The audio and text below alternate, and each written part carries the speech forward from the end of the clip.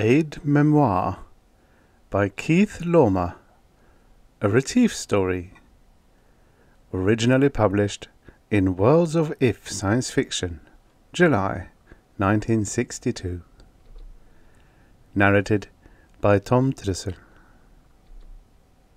1. Across the table from Retief, Ambassador Magnan rustled a stiff sheet of parchment and looked grave. This aide memoire, he said, was just handed to me by the cultural attaché. It's the third on the subject this week. It refers to the matter of sponsorship of youth groups. Some youths, Retief said. Average age, seventy-five. The Fustians are a long-lived people, Magnan snapped. These matters are relative. At seventy-five, a male Fustian is at a trying age. That's right. He'll try anything, in the hope it will maim somebody. Precisely the problem, Magnan said. But the youth movement is the important news in today's political situation here on Fust, and sponsorship of youth groups is a shrewd stroke on the part of the terrestrial embassy. At my suggestion, well nigh every member of the mission has leaped at the opportunity to score a few po- that is, cement relations with this emergent power group, the leaders of the future. You, Retief, as councillor, are the outstanding exception. I'm not convinced these hoodlums need my help in organizing their rumbles, Retief said. Now, if you have a proposal for a pest control group, to the Fustians, this is no jesting matter, Magnan cut in. This group, he glanced at the paper, known as the Sexual, Cultural and Athletic Recreational Society, or SCARS for short, has been awaiting sponsorship for a matter of weeks now.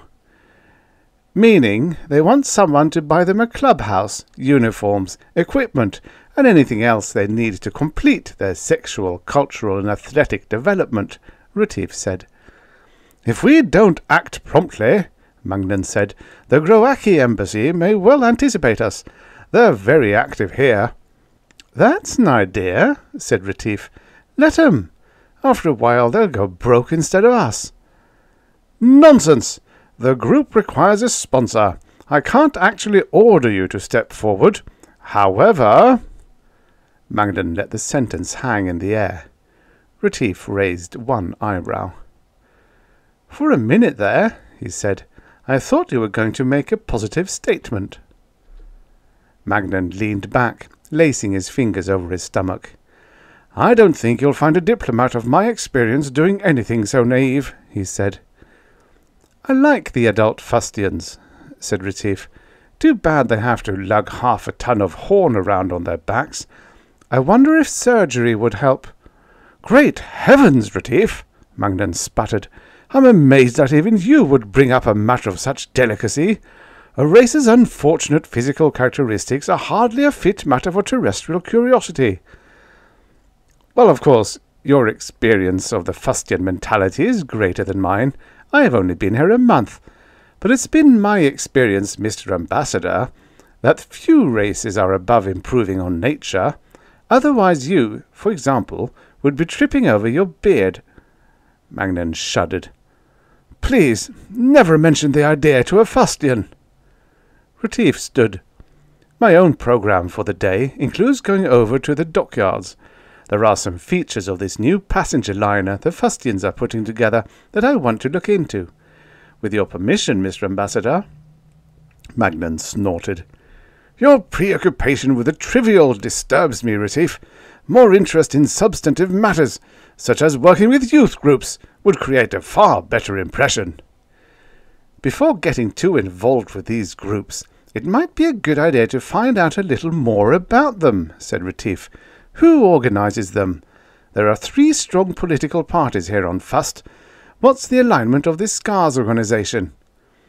You forget, these are merely teenagers, so to speak, Magnan said. Politics means nothing to them, yet. Then there are the Groaci.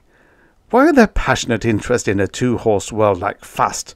Normally they're concerned with nothing but business. But what has Fust got that they could use? You may rule out the commercial aspect in this instance, said Magnan. Fust possesses a vigorous steel-age manufacturing economy. The Groaci are barely ahead of them. Barely, said Retief, just over the line into crude atomics, like fission bombs. Magnan shook his head, turned back to his papers. What market exists for such devices in a world at peace? I suggest you address your attention to the less spectacular but more rewarding work of studying the social patterns of the local youth. I've studied them, said Retief, and before I meet any of the local youth socially, I want to get myself a good blackjack. 2. Retief left the sprawling bungalow-type building that housed the chancery of the terrestrial embassy, swung aboard a passing flat car, and leaned back against the wooden guardrail as the heavy vehicle trundled through the city toward the looming gantries of the shipyards. It was a cool morning. A light breeze carried the fishy odour of fusty dwellings across the broad cobbled avenue. A few mature fustians lumbered heavily along in the shade of the low buildings, audibly wheezing under the burden of their immense carapaces. Among them, shell-less youths trotted briskly on scaly stub legs. The driver of the flat car, a labour-caste fustian with his guild colours emblazoned on his back, heaved at the tiller, swung the unwieldy conveyance through the shipyard gates, creaked to a halt. Thus I come to the shipyard with frightful speed, he said in fustian. Well, I know the way of the naked backs, who always move in haste. Retief climbed down, handed him a coin. You should take up professional racing, he said. Daredevil. He crossed the littered yard and tapped at the door of a rambling shed. Boards creaked inside. Then the door swung back. A gnarled ancient with tarnished facial scales and a weathered carapace peered out at Retief. Long may you sleep, said Retief. I'd like to take a look around, if you don't mind. I understand you're laying the bed plate for your new liner today. May you dream of the deeps, the old fellow rumbled. He waved a stumpy arm toward a group of shell-less fustians standing by a massive hoist. The youths know more of bed plates than do I, who but tend the place of papers. I know how you feel, old-timer, said Retief. That sounds like the story of my life. Among your papers, do you have a set of plans for the vessel? I understand it's to be a passenger liner. The oldster nodded. He shuffled to a drawing file, rummaged, pulled out a sheaf of curled prints, and spread them on the table. Retief stood silently, running a finger over the uppermost drawing, tracing lines. What does the naked back here? barked a deep voice behind Retief. He turned. A heavy-faced fustian youth, wrapped in a mantle, stood at the open door. Beady yellow eyes, set among fine scales, bored into Retief. I came to take a look at your new liner, said Retief. We need no prying foreigners here, the youth snapped. His eye fell on the drawings. He hissed in sudden anger. Doddering hulk, he snapped at the ancient. May you toss in nightmares. Put by the plans. My mistake, Retief said. I didn't know this was a secret project. The youth hesitated. It is not a secret project, he muttered. Why should it be secret? You tell me. The youth worked his jaws and rocked his head from side to side in the fusty gesture of uncertainty. There is nothing to conceal, he said. We merely construct a passenger liner. Then you don't mind if I look over the drawings, said Retief. Who knows? Maybe some day I'll want to reserve a suite for the trip out. The youth turned and disappeared. Retief grinned at the oldster. Went for his big brother, I guess, he said. I have a feeling I won't get to study these in peace here. Mind if I copy them?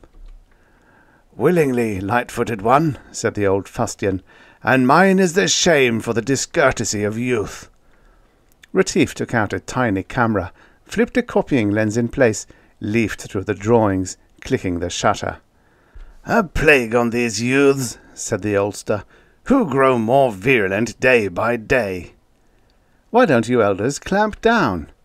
Agile are they, and we are slow of foot, and this unrest is new. Unknown in my youth was such insolence. The police?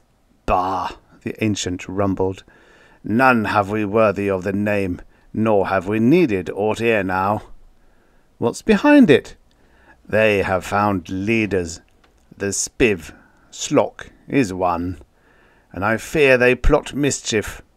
He pointed to the window. They come, and a soft one with them. Retief pocketed the camera, glanced at the window. A pale-featured Groaci with an ornately decorated crest stood with the youths, who eyed the hut, then started toward it. That's the military attaché of the Groaci embassy, Retief said. I wonder what he and the boys are cooking up together. Naught that augurs well for the dignity of Fust, the oldster rumbled. Flee, agile one, while I engage their attentions. I was just leaving, Retief said. Which way out? The rear door, the Fustian gestured with a stubby member. Rest well, stranger on these shores. He moved to the entrance. Same to you, Pop, said Retief, and thanks. He eased through the narrow back entrance, waited until voices were raised at the front of the shed, then strolled off toward the gate. The second dark of the third cycle was lightening when Retief left the Embassy Technical Library and crossed the corridor to his office. He flipped on a light. A note was tucked under a paperweight. Retief, I shall expect your attendance at the IAS dinner at first dark of the fourth cycle. There will be a brief, but, I hope, impressive sponsorship ceremony for the Scars Group, with full press coverage, arrangement for which I have managed to complete in spite of your intransigence. Retief snorted and glanced at his watch. Less than three hours. Just time to creep home by flat car, dress in ceremonial uniform, and creep back. Outside, he flagged a lumbering bus.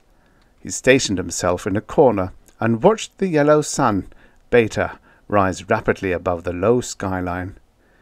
The nearby sea was at high tide now, under the pull of the major sun and the three moons, and the stiff breeze carried a mist of salt spray.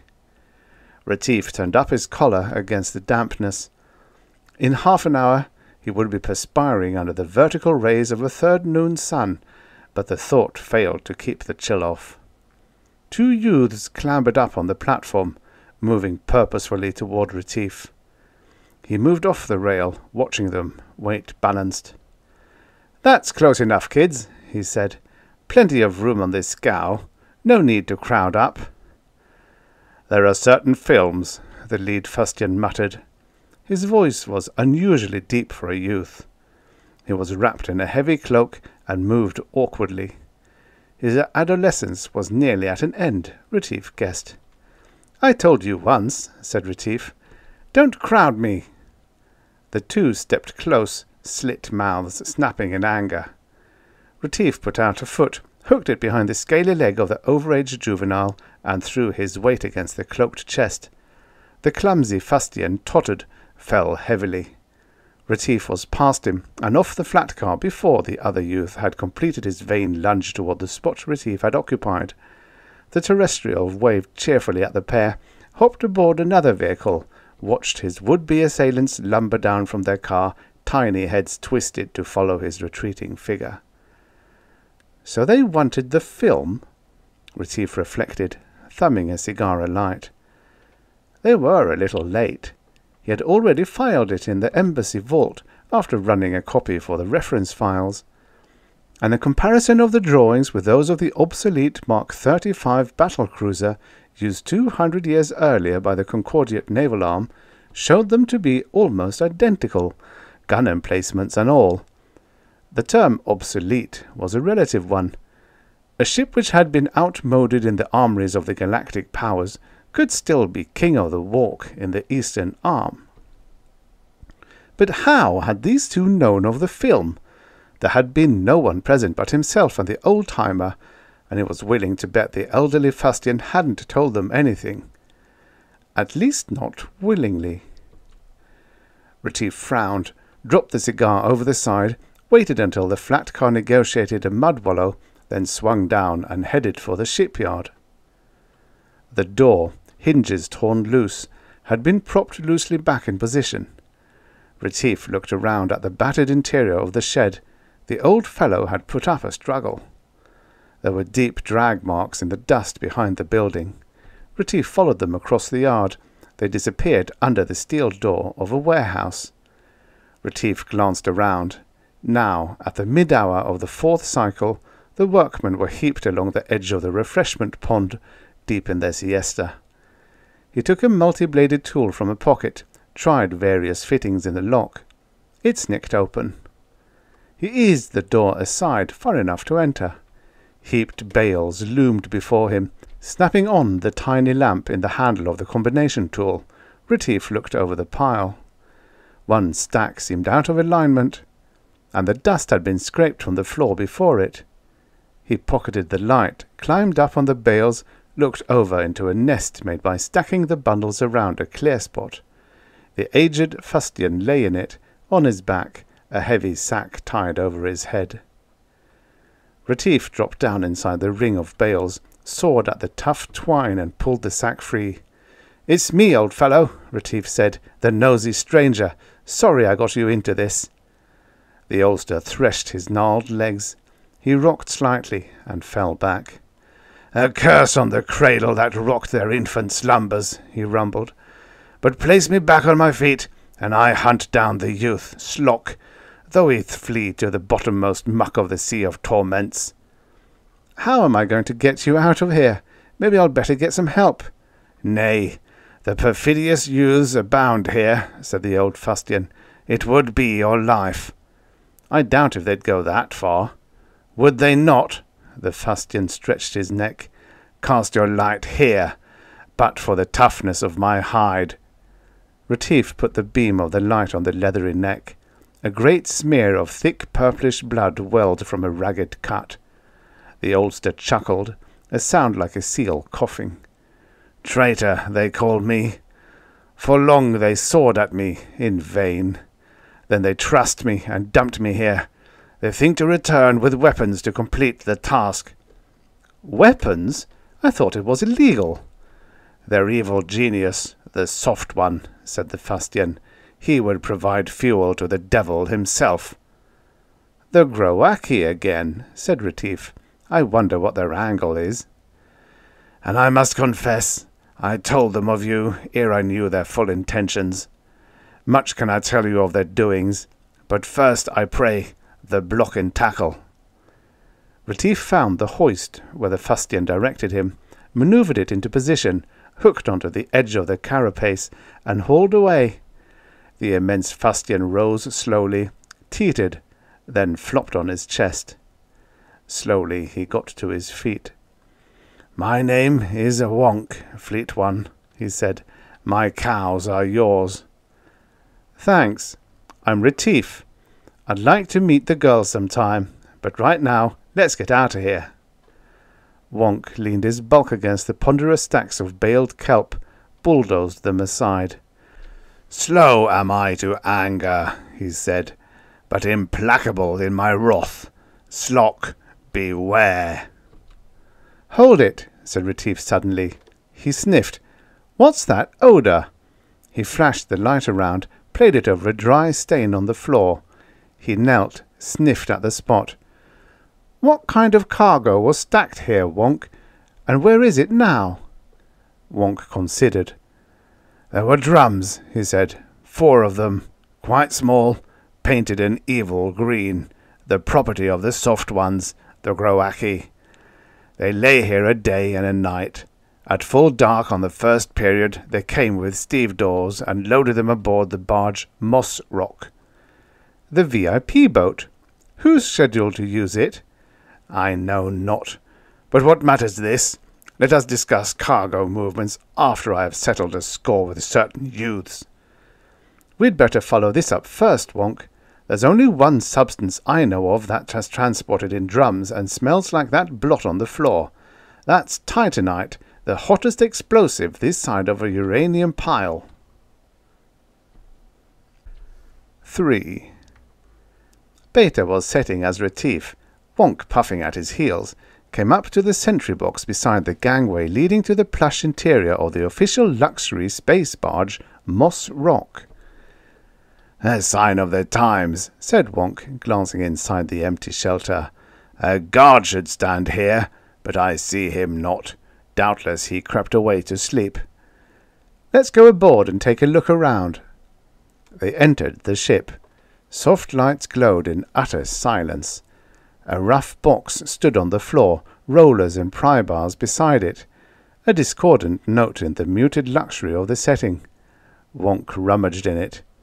Curious, he said. What means this? He held up a stained cloak of orange and green, a metal bracelet, papers. Orange and green, mused Retief. Whose colours are those? I know not. Wonk glanced at the armband. But this is lettered. He passed the metal band to Retief. Scars, Retief read. He looked at Wonk. It seems to me I've heard the name before, he murmured. Let's get back to the embassy, fast. Back on the ramp, Retief heard a sound, and turned in time to duck the charge of a hulking fustian youth who thundered past him and fetched up against the broad chest of Wonk, who locked him in a warm embrace. Nice catch, Wonk. Where'd he sneak out of? The lout hid there by the storage bin, rumbled Wonk. The captive youth thumped fists and toes fruitlessly against the oldster's carapace. Hang on to him, said Retief. He looks like the biting kind. No fear. Clumsy I am, yet not without strength. Ask him where the titanite is tucked away. Speak, witless grub, growled Wonk lest I tweak you in twain. The youth gurgled. Better let up before you make a mess of him, said Retief. Wonk lifted the youth clear of the floor, then flung him down with a thump that made the ground quiver. The younger fustian glared up at the elder, mouth snapping. This one was among those who trust me and hid me away for the killing, said Wonk. In his repentance he will tell all to his elder. That's the same young squirt that tried to strike up an acquaintance with me on the bus, Retief said. He gets around. The youth scrambled to hands and knees, scuttled for freedom. Retief planted a foot on his dragging cloak. It ripped free. He stared at the bare back of the fustian. By the great egg! Wonk exclaimed, tripping the refugee as he tried to rise. This is no youth. His carapace has been taken from him. Retief looked at the scarred back. I thought he looked a little old, but I thought... This is not possible, Wonk said wonderingly. The great nerve trunks are deeply involved. Not even the cleverest surgeon could excise the carapace and leave the patient living. It looks like somebody did the trick. But let's take this boy with us and get out of here. His folks may come home. Too late, said Wonk. Retief turned. Three youths came from behind the sheds. Well, Retief said, it looks like the scars are out in force tonight. Where's your pal? he said to the advancing trio. The sticky little bird with the eye stalks. Back at his embassy, leaving you suckers holding the bag, I'll bet. Shelter behind me, Retief, said Wonk. Go get get 'em, old-timer. Retief stooped, picked up one of the pry bars. I'll jump around and distract them. Wonk let out a whistling roar and charged for the immature fustians. They fanned out, and one tripped, sprawled on his face. Retief whirled the metal bar he had thrust between the fustian's legs, slammed it against the skull of another, who shook his head, turned on Retief, and bounced off the steel hull of the moss rock as Wonk took him in full charge.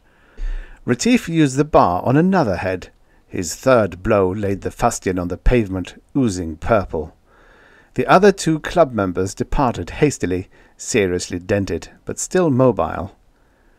Retief leaned on his club, breathing hard. Tough heads these kids have got. I'm tempted to chase those two lads down, but I've got another errand to run. I don't know who the Groaci intended to blast, but I have a sneaking suspicion somebody of importance was scheduled for a boat ride in the next few hours, and three drums of titanite is enough to vaporize this tub and everyone aboard her. The plot is foiled, said Wonk. But what reason did they have? The Groaci are behind it. I have an idea the Scars didn't know about this gambit. Which of these is the leader? asked Wonk. He prodded a fallen youth with a horny toe. Arise, dreaming one. Never mind him, Wonk. We'll tie these two up and leave them here. I know where to find the boss. A stolid crowd filled the low-ceilinged banquet hall. Retief scanned the tables for the pale blobs of terrestrial faces dwarfed by the giant armoured bodies of the Fustians. Across the room, Magnan fluttered a hand. Retief headed toward him. A low-pitched vibration filled the air, the rumble of subsonic Fustian music. Retief slid into his place beside Magnan. Sorry to be late, Mr. Ambassador. I'm honoured that you chose to appear at all, said Magnan coldly. He turned back to the Fustian on his left. Ah, yes, Mr. Minister, he said. Charming, most charming, so joyous. The Fustian looked at him, beady-eyed. It is the lament of Hatching, he said, our national dirge. Oh, said Magnan.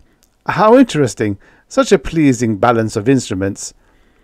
It is a drone solo, said the Fustian, eyeing the terrestrial ambassador suspiciously. Why don't you just admit you can't hear it? Retief whispered loudly. And if I may interrupt a moment. Magnan cleared his throat. Now that our Mr. Retief has arrived, perhaps we could rush right along on the sponsorship ceremonies. This group, said Retief, leaning across Magnan. The Scars. How much do you know about them, Mr. Minister? Nothing at all, the huge Fustian elder rumbled. For my taste, all youths should be kept penned with the livestock until they grow a carapace, to tame their irresponsibility. We mustn't lose sight of the importance of channeling youthful energies, said Magnan. Labour gangs, said the minister. In my youth, we were indentured to the dredge masters. I myself drew a muck sledge. But in these modern times, put in Magnan, surely it's incumbent on us to make happy these golden hours. The minister snorted. Last week I had a golden hour. They set upon me and pelted me with overripe stench fruit. But this was merely a manifestation of normal youthful frustrations, cried Magnan. Their essential tenderness. You'd not find a tender spot on that lout yonder, the minister said, pointing with a fork at a newly arrived youth, if you drilled boreholes and blasted. Why, that's our guest of honour, said Magnan. A fine young fellow. Slop, I believe his name is. Slock, said Retief. Eight feet of armoured-plated orneriness, and... Magnan rose and tapped on his glass.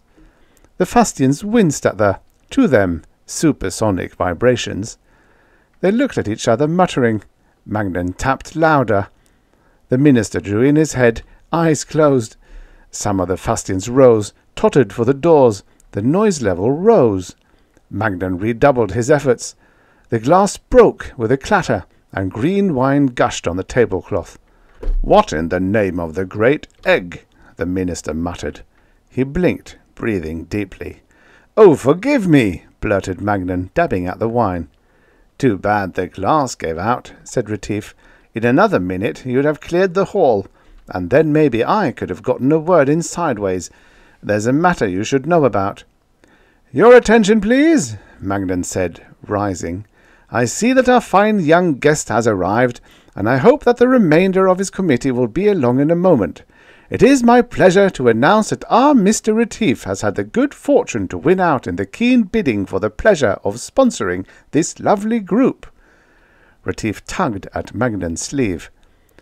Don't introduce me yet, he said. I want to appear suddenly. More dramatic, you know.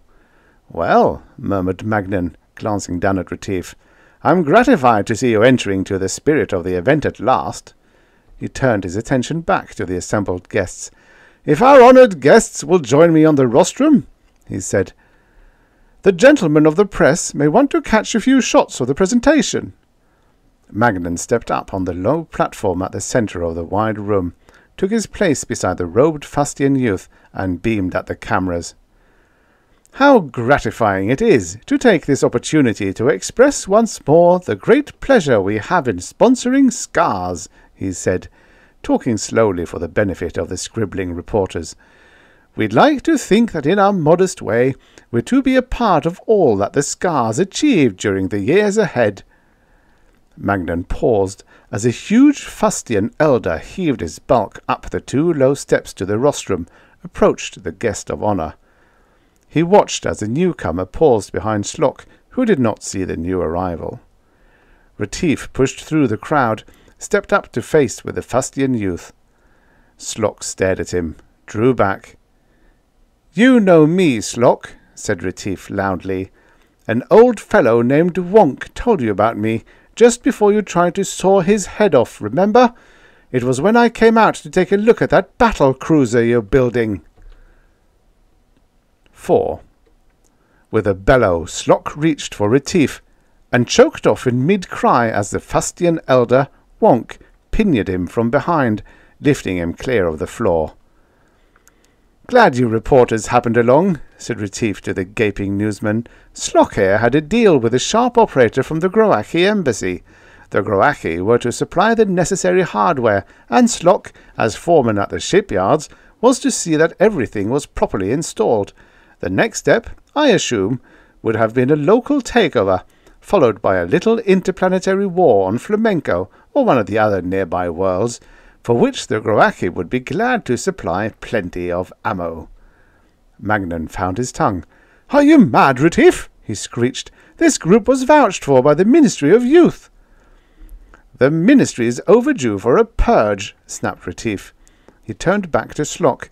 I wonder if you were in on the little diversion that was planned for today. When the moss rock blew, a variety of clues were to be planted where they'd be easy to find, with scars written all over them. The Groaci would thus have neatly laid the whole affair squarely at the door of the terrestrial embassy, whose sponsorship of the scars had received plenty of publicity. The Moss Rock? said Magnan. But that was... Retief! This is idiotic. Slock himself was scheduled to go on the cruise tomorrow. Slock roared suddenly, twisting violently. Wonk teetered, his grip loosened, and Slock pulled free and was off the platform, butting his way through the milling oldsters on the dining room floor. Magnan watched open-mouthed. The Groaci were playing a double game as usual, Retief said. They intended to dispose of this fellow Slock once we'd served their purpose. Well, don't stand there, yelped Magnan over the uproar. If Slock is the ringleader of a delinquent gang... He moved to give chase. Retief grabbed his arm. Don't jump down there. You'd have much chance of getting through as a jackrabbit through a threshing contest. Ten minutes later, the crowd had thinned slightly. We can get through now, Wonk called. This way. He lowered himself to the floor bulled through to the exit. Flashbulbs popped. Retief and Magnan followed in Wonk's wake. In the lounge, Retief grabbed the phone, waited for the operator, gave a code letter. No reply. He tried another. No good, he said after a full minute had passed. Wonder what's loose. He slammed the phone back in its niche. Let's grab a cab. In the street, the blue sun, Alpha, peered like an arc light under a low cloud layer, casting flat shadows across the mud of the avenue. The three mounted a passing flat car. Wonk squatted, resting the weight of his immense shell on the heavy plank flooring. Would that I too could lose this burden, as had the false youth we bludgeoned aboard the Moss Rock, he sighed. Soon will I be forced into retirement then a mere keeper of a place of papers such as I will rate no more than a slab on the public strand with once daily feedings, and even for a man of high position, retirement is no pleasure. A slab in the park of monuments is little better, a dismal outlook for one's next thousand years. You two carry on to the police station, said Retief. I want to play a hunch, but don't take too long. I may be painfully right. What? Magnan started. As you wish, Retief, said Wonk. The flat car trundled past the gate of the shipyard, and Retief jumped down, headed at a run for the VIP boat. The guard post still stood vacant. The two youths whom he had Wonk had left trust were gone. That's the trouble with a peaceful world, Retief muttered. No police protection. He stepped down from the lighted entry and took up a position behind the sentry box. Alpha rose higher, shedding a glaring blue-white light without heat. Retief shivered. Maybe he'd guessed wrong. There was a sound in the near distance, like two elephants colliding.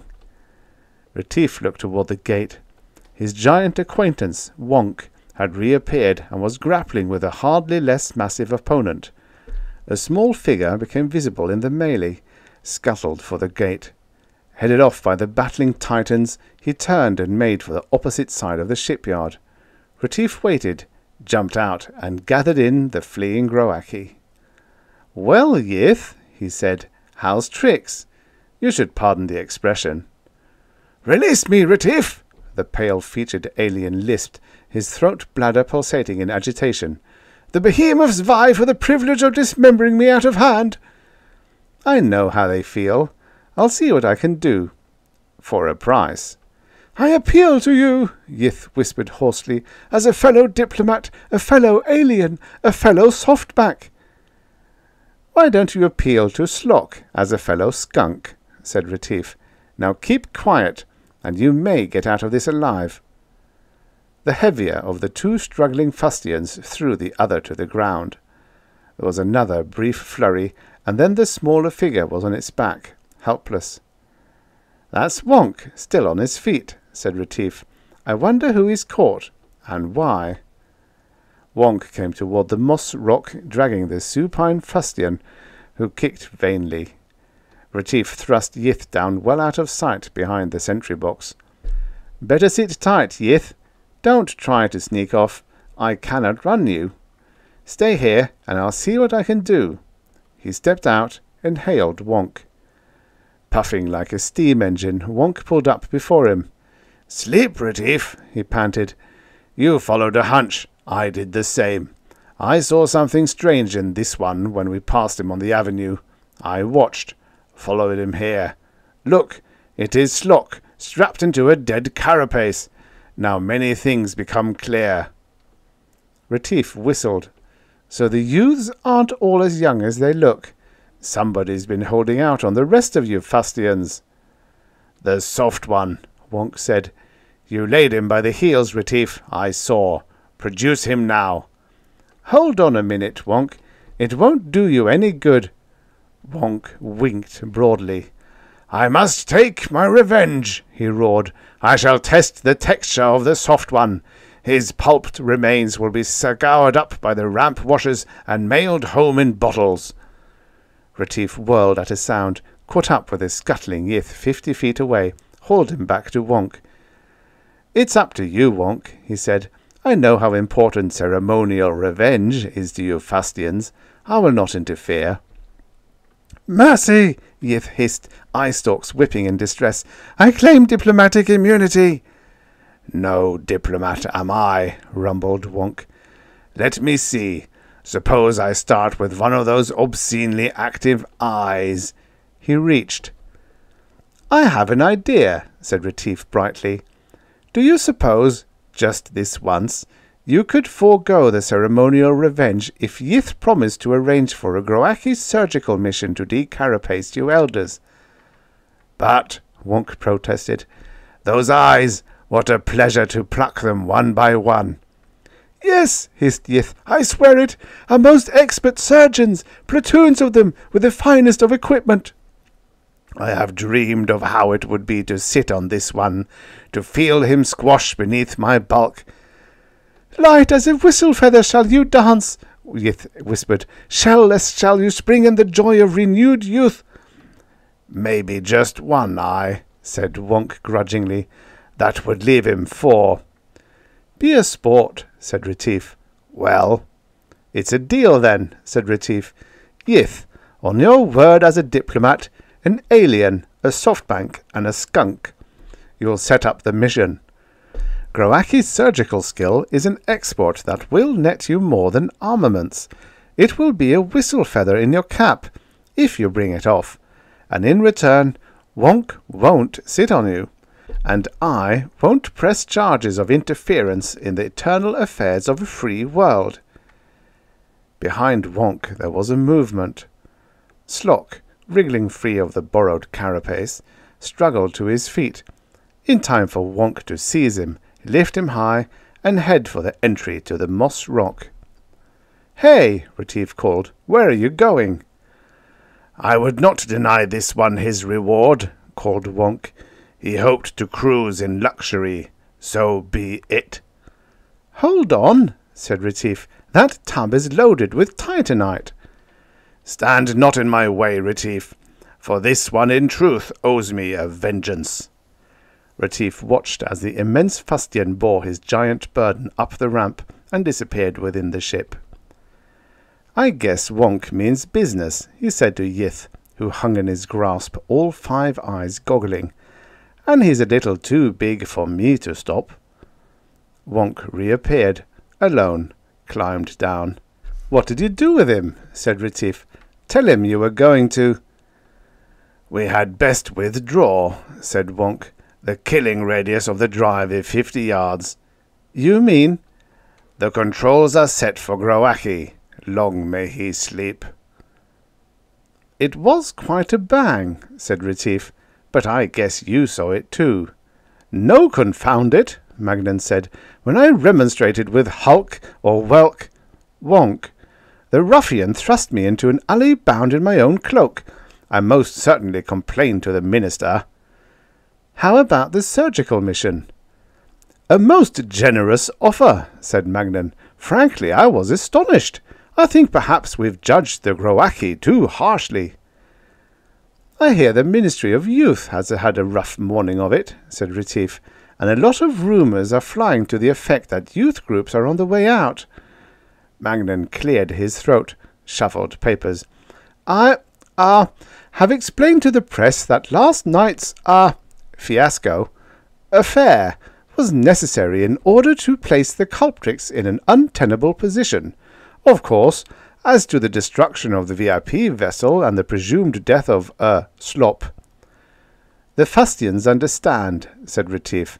Wonk wasn't kidding about ceremonial vengeance. The Groaci have been guilty of gross misuse of diplomatic privilege, said Magnan. I think that a note or perhaps an aide memoire, less formal. The Moss Rock was bound for Groaki, said Retief. She was already in a transit orbit when she blew. The major fragments will arrive on schedule in a month or so. It should provide quite a meteorite display. I think that should be all the aid the Groaci's memoirs will need to keep their tentacles off Fust. But diplomatic usage. Then, too, the less that's put in writing, the less they can blame you for if anything goes wrong. That's true, said Magnan, lips pursed. Now you're thinking constructively, Retief. We may make a diplomat of you yet. He smiled expansively. Maybe, but I refuse to let it depress me. Retief stood up. I'm taking a few weeks off, if you have no objection, Mr. Ambassador.